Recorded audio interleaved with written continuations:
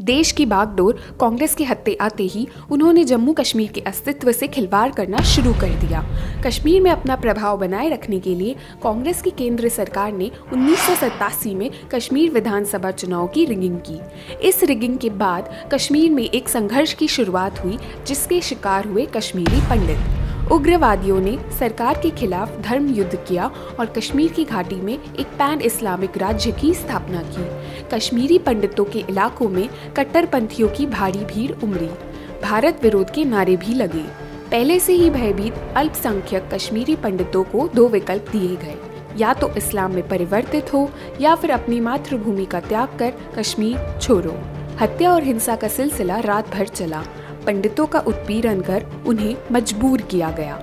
उनके सामूहिक पलायन यानी एक्सोडस की शुरुआत हुई। एक बड़ी संख्या में कश्मीरी पंडितों ने अपने घर और जमी का त्याग कर घाटी को छोड़ने का निर्णय लिया। कांग्रेस की इलेक्शन रिगिंग राजनीति का कुछ ऐसा असर हुआ कि सरकार के खिलाफ शुरू हुए संघर्ष ने जल्द ही धार्मिक रंग ले लिए। अलगाववादियों द्वारा हिंदुओं के खिलाफ की गई इस हिंसक घटना की आज भी कुछ लोग हॉलोकॉस्ट और नरसंहार से तुलना करते हैं।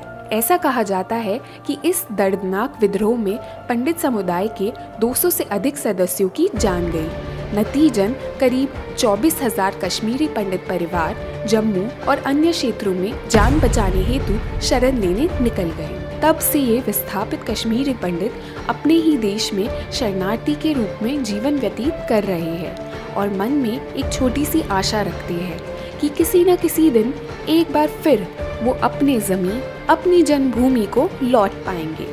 और एक दिन ऐसा आएगा जब वो अपनी मातृभूमि से पुनः मिलन कर पाएँगे।